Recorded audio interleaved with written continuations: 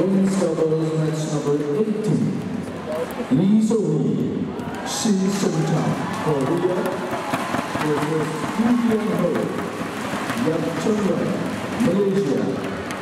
Umpire, Andi Purnama, Indonesia. Service Abdullah Chauhan, Indonesia.